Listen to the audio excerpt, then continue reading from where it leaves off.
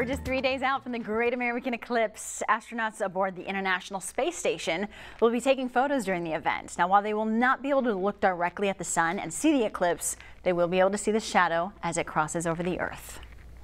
For some, the final preparations have been bumpier than the surface of the moon. Overbooked hotels from upstate New York to the deep south are suddenly canceling some guest reservations. Now for others, the options are pricey. A Super 8 hotel in Illinois, usually 95 bucks a night.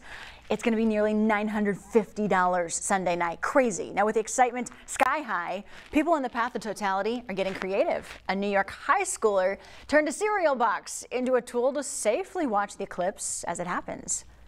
Looking at it like with the glasses was pretty cool, but it's like dimmed, but you can see the whole thing with the with the box. Now here in Iowa, we're not among the 14 states in the path of totality, and that's the narrow zone where the sun will be 100% darkened by the moon, but we'll still see partial viewing here.